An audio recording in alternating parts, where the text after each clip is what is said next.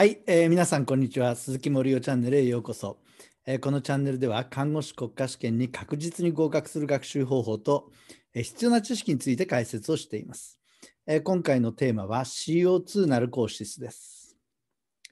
最初に化学蒸気反射を復習してそして CO2 ナルコーシスについて説明します。えそして2型呼吸不全と呼吸性アシド質の関係について説明し、え肺性脳症について説明します。そして気をつけることについて説明します。え記憶に残る復習の仕方、早期して保存について説明し、最後に CO2 ナルコシスに関する国家試験過去問題について解説をしていきます。え健康な人の呼吸が促進される理由は2つですよね。まず1つ目が低酸素血症、血液中に酸素が少ないとき。えー、2つ目が高炭酸ガス結晶、えー、別の言い方をすれば高二酸化炭素結晶ですよね。血液中に炭酸ガス、二酸化炭素が多いとき。えー、これらの時は当然のことながら、え呼吸を促進しなければいけませんよね。酸素を取り込んだり、二酸化炭素を排泄する目的で呼吸を促進しなければいけないわけです。えー、中枢化学受容体とか末梢化学受容体がこの低酸素結晶や高炭酸ガス結晶を感知して円髄の呼吸中枢へ伝えます。えすると円髄の呼吸中枢は呼吸を促進しろという命令を出すわけですよね。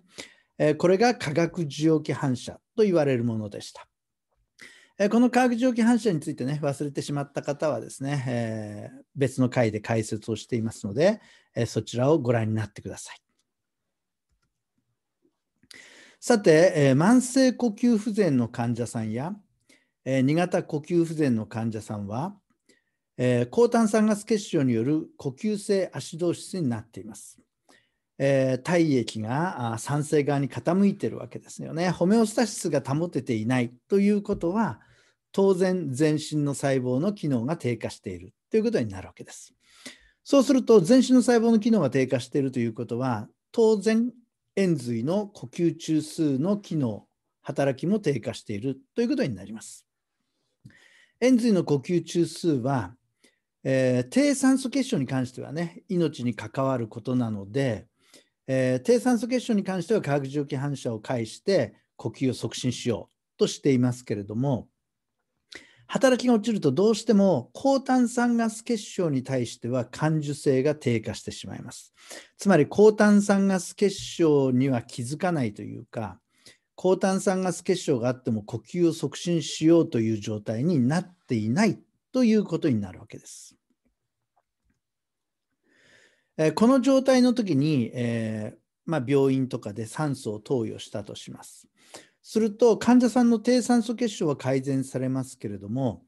えー、その分、ねえー、化学重機反射は起こらなくなるわけですよね。円髄の呼吸中枢はもう高炭酸ガス結晶には気づいていないので低酸素結晶が改善されたら化学蒸気反射も起こさなくてもいいやということになります。つまり呼吸促進がなくなってしまいますから換気が悪くなる低換気になってしまって二酸化炭素の排泄はできなくなって高炭酸ガス結晶はますます悪化するということになります。えー、二酸化炭素が増えれば増えるほど呼吸性アシドーシスが悪化してしまうということになるわけです。えー、そこで、えー、後で述べる肺性脳症の症状、え、頭痛であるとか意識障害が出現してくるといったものがこの CO2 ナルコーシスと言われるものです。はい、えー、それでは呼吸2型の呼吸不全と呼吸性アシド質の関係をもう一度復習しておきましょう。これ二酸化炭素と水が反応すると炭酸になって、えー、水素イオンと重炭酸イオンに分かれるというこの化学式。ねえー、ぜひ、ね、自分で書けるようにしておくとねいいと思うんですけれどもさらに大切なことはこの化学式をどう読むかということですよね。それは体内に二酸化炭素が増えたら水素イオンが増えるんですよというふうに読んでください。つまり高炭酸ガス結晶がある2型呼吸不全によって、え、体液中に二酸化炭素が増えたら自動的に水素イオンが増加して呼吸性アシド質になりますよということになるわけです。えー、最後に肺性脳症です。肺性脳症とは、肺の機能が低下したことにより、えー、頭痛や嘔吐、えー、専門意識障害、痙攣などが急激に出現してしまうことを言います。えー、その原因は低酸素血症であったり、高炭酸ガス血症になるわけです。えー、これらの時には脳血流量が増加して脳圧が更新して、えー、頭痛や嘔吐などの頭蓋内圧更新症状が出現します。えー、今回のテーマである、えー、CO2 ナルコ質による呼吸性発症質も当然この肺性脳症の原因になりますから、えー、CO2 ナルコ質の症状もこの肺性脳症の原因症状と同じということとになります。そう覚えておいてください。えー、最後に気をつけることです。えー、低酸素血症の患者さんがいたら当然それは命に関わるわけですから酸素を投与するということは当然のことになります。けれどもその中には慢性呼吸不全の患者さんであったりそれから急性呼吸不全でも2型呼吸不全の患者さんの場合もあるわけです。そういった患者さんに酸素投与をする際には CO2 ナルコ質に注意しなければなりません。まずですね、低流量の酸素を投与します。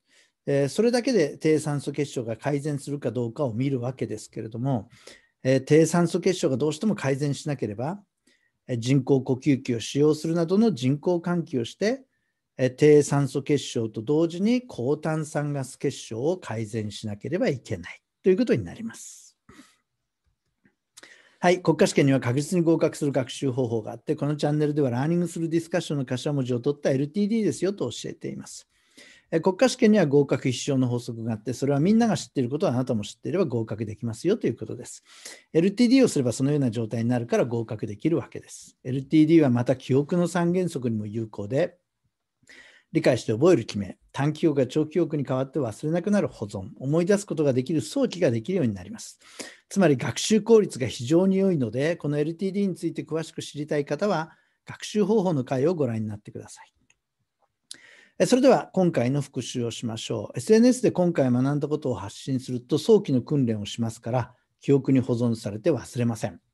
え Twitter、Instagram、Facebook、YouTube、LINE など何でも構いません。あなたの学びでクラスメートも、あ、そうやって覚えたらいいのかと記名することができて喜んでくれます。えその時にはぜひ、ハッシュタグ鈴木森生チャンネル、ハッシュタグ CO2 ナルコシとつけてください。お願いします。えまず健康な人の呼吸が促進される状態を説明してみましょう。まあ、化学蒸気反射の復習ですよね。えー、そして CO2 ナルコ質の病態とその症状について説明し、CO2 ナルコ質について気をつけることを説明してみましょう。過去の国家試験問題です。肺気腫による慢性呼吸不全の患者が自発呼吸下でマスクによる5リットル毎分の酸素吸入を受けている。起こりやすい合併症はどれか。えポイントは慢性呼吸不全の患者さんなので、えー、ね、高炭酸ガス血症にに対する感受性が低下している可能性がありますね。えー、1番の CO2 ナルコ質が答えになります。慢性呼吸不全に酸素投与する場合は注意しましょう。えー、慢性促性肺疾患における在宅酸素療法の目的で誤っているのはどれか。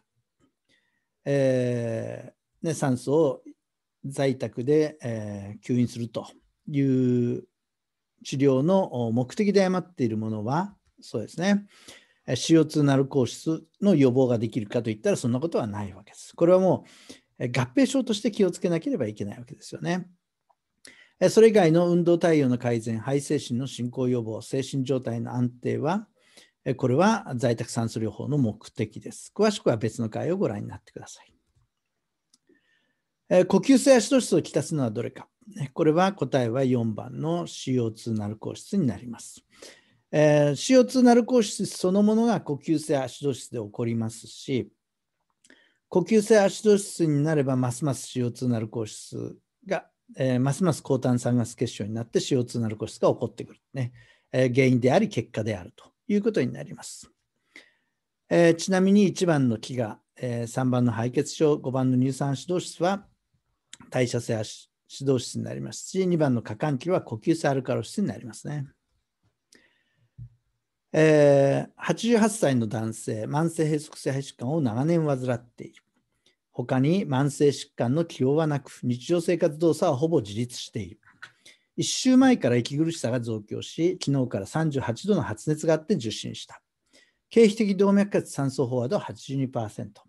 動脈血ガス分析、PaO245 トール、PaCO250 トール、胸部 X 線撮影の結果、右肺上葉に陰影を認め、肺炎と診断された。えー、慢性閉塞性肺疾患の患者さんがえー、肺炎を起こしたことによって、えー、PaO245 トール、低酸素血症、PaCO250 トール、高炭酸ガス血症という、まあ、2型呼吸不全を起こしている患者さんの問題ということになります。えー、この時の所見で見られる可能性が高いのはどれか。1番、胸部の脱診で下共鳴音。これ正しいですね。えー、脱診をした時に下共鳴音が聞かれるのは、えー、廃棄種の所見、典型的な所見なので、これが正しいということになります。2番、吸気と呼気との長さの比がほぼ2対1。えー、COPD の場合は呼気が延長しますから、えー、吸気の方が長いのはおかしいですね。で3番、右胸の下肺や付近の皮膚に皮下気種が出現する理由はないですし、4番、胸郭の前後径と左右径との比がほぼ2対1。えー、前後径がね、樽状胸郭で長くなることはあっても、え2対1っていうね、えー、前後径がこれはあまりも長すぎるので、えこれは起きないでしょう。さあ、え入院し、抗菌薬の点滴静脈内注射と酸素投与が開始された。今後の発生に最も注意が必要なのはどれか。え先ほども言ったように2型呼吸不全の患者さんに、え酸素投与をする場合には、えー、CO2 ナルコ質に気をつけなければいけません。A さん58歳女性は10年前に肺気腫を指摘されたが喫煙を続け、帯同時に軽い息入れを自覚していた。A さんは肺炎で救急病院に入院し、経皮的動脈血酸素飽和度86%で、フェイスマスクによる酸素投与4リットル毎分が開始された。抗菌薬投与後6日、鼻腔カニューラによる酸素投与2リットル毎分で、A さんの経皮的動脈血酸素飽和度が94%まで回復した。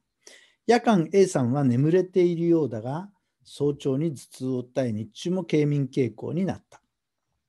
A さんへの対応で適切なのはどれか。今起きている症状は頭痛と軽眠傾向という意識障害ですよね。頭痛と意識障害といったらこれは肺性脳症を起こしているだろうというふうに考えるわけで、そうすると原因としてはまあ、ね、低酸素血症や高炭酸ガス血症、ね、場合によっては CO2 ナルコーシスかなと考えますよね。その時にどうやったら診断つきますかといったら、これは動脈血液ガス分析の実施ということになるわけです。つまり、肺性脳症の原因を探る必要があるということになりますね。はい、国家試験には確実に合格する学習方法があります。今回の学びが皆さんの役に立ったら、ぜひいいねボタンを押してください。また、チャンネル登録もよろしくお願いします。え今回も最後までご視聴ありがとうございました。